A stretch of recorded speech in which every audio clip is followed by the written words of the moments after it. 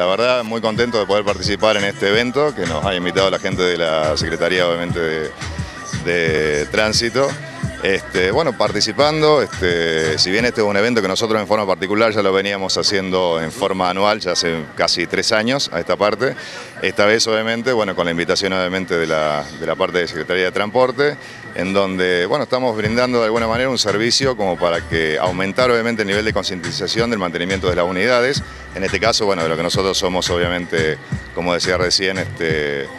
eh, una de las empresas que de alguna manera tiene más relevancia en lo que es el rubro, este, bueno, en el caso de motos, digamos. Ahí están que justamente eh, tienen a gente de la empresa, en este caso enseñándole a la gente al mantenimiento de, de, del motovehículo. Sí, el servicio que hoy estamos prestando justamente es que bueno, nuestro personal técnico de la parte de mantenimiento y servicio estamos haciendo en forma gratuita el tema del cambio de aceite, ¿sí? Haciendo una revisión integral del tema de la unidad, como para de alguna manera dar algún diagnóstico también, y que después eh, cada uno obviamente de los propietarios de las unidades, ya sea en su servicio particular o en el, nuestro obviamente, que, que, para eso somos este servicio oficial multimarca, digamos, en ese, en ese aspecto, pueda venir y dejar su unidad después como para, para corregir cualquier situación que haya tenido la misma. Le hago una consulta, al momento de ir a la concesionaria a comprar una motocicleta, eh,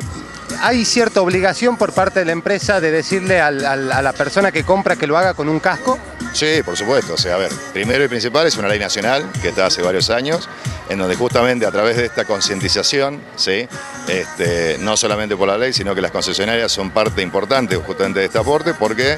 Porque se entrega justamente con la compra de toda unidad un casco, ¿sí? Pero esto más se refiere, aparte obviamente de la seguridad que tiene que ver con respecto al uso del casco, se refiere también al tema del uso y el mantenimiento de la unidad. ¿sí? Eso también te da alguna línea de seguridad al momento de transitar obviamente por la, por la ciudad. Así que básicamente en este caso complementamos a esa este, línea de, de, de, seguridad que proponen las concesionarias a través de la entrega de casco, el tema también de la importancia que tiene el mantenimiento de cada una de las unidades que circulan acá en la ciudad. ¿En qué se explica lo que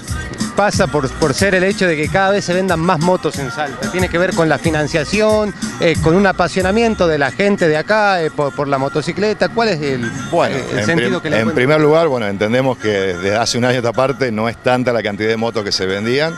que se venden, mejor dicho, en este momento, obviamente por la situación, pero sí sigue siendo, con más razón, este, uno de los vehículos más, más económicos y con mejor adaptabilidad justamente para este momento de, llamémosle, de, de crisis que estamos atravesando, en donde mucha gente, obviamente por un tema de mantenimiento de la unidad, por el costo de la misma, se ha volcado a comprar el tema de, de estas unidades para poder movilizarse. ¿Desde el sector ven con alivio el hecho del cambio de gobierno y que se puedan revertir algunas políticas? Mira, estamos todos a la expectativa, por supuesto todos tenemos mucha esperanza de que todo esto se,